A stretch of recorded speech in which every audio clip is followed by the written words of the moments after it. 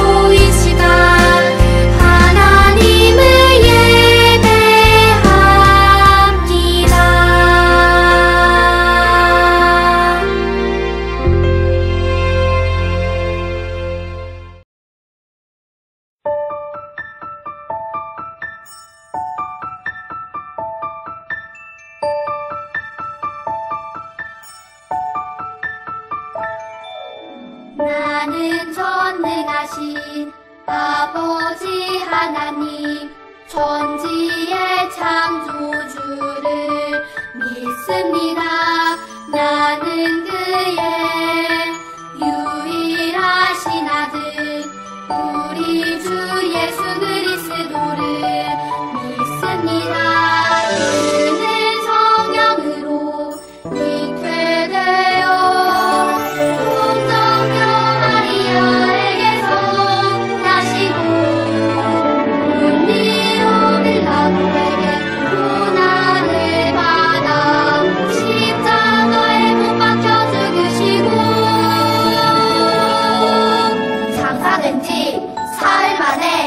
죽은 자 가운데서 다시 살아 나셨으며 하늘에 오르시어.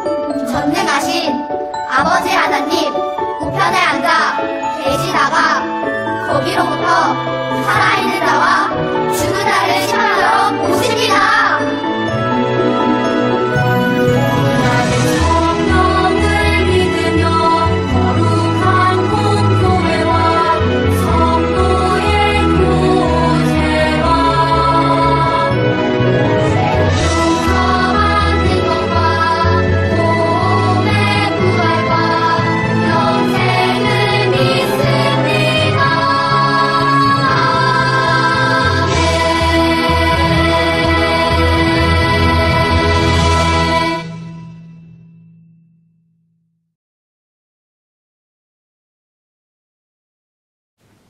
오늘 말씀은 창세기 24장 60절이에요.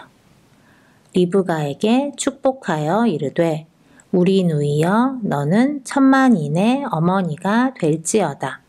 내 씨로 그 원수의 성문을 얻게 할지어다. 창세기 24장 60절 말씀. 아멘. 하나님께서는 아브라함에게 하늘의 별과 같이 많은 자손을 주겠다고 약속하셨어요. 그리고 아브라함은 하나님의 약속을 믿었어요. 아브라함이 100살이 되었을 때 아들 이삭이 태어났어요. 시간이 지나고 이삭이 결혼할 나이가 되었어요. 그런데 아브라함이 살던 곳의 사람들은 하나님을 알지 못했어요. 그래서 아브라함은 이삭이 그곳 사람과 결혼하는 것을 원하지 않았어요. 아브라함은 이삭과 결혼할 아내를 자기의 고향 가나안에서 찾으려고 했어요. 아브라함은 자신이 사랑하고 아끼는 종을 고향으로 보내서 이삭과 결혼할 아내를 데려오라고 했어요. 종은 아브라함의 고향으로 갔어요. 많은 낙타를 끌고 먼 길을 걸어갔어요. 아브라함의 고향에 거의 도착했을 때 종은 우물가에서 하나님께 기도했어요. 하나님, 이삭의 아내를 만날 수 있게 도와주세요. 저와 낙타들에게 물을 길어주는 여자가 하나님께서 정하신 이삭의 아내라고 생각하겠어요. 기도가 끝나기도 전에 한 여자가 물을 기르러 우물가에 왔어요. 아름다운 리브가였어요. 종이 리브가에게 가서 말했어요. 나에게도 물을 주세요. 리브가는 종에게 얼른 물을 주었어요. 그리고 리브가는 종의 낙타들에게도 물을 주었어요. 종은 리브가가 하나님이 선택한 이삭의 아내가 틀림없다고 생각했어요. 종은 하나님께 기도했어요. 하나님 감사합니다. 하나님께서 인도해 주셔서 제가 이삭의 아내를 만났어요. 종은 리브가의 집으로 갔어요. 그리고 리브가의 가족들에게 말했어요. 저는 아브라함의 종이에요. 하나님께서 저의 주인님에게 약속하신 대로 아들 이삭을 주셨어요. 주인님은 저에게 고향으로 가서 이삭의 아내를 데려오라고 했어요.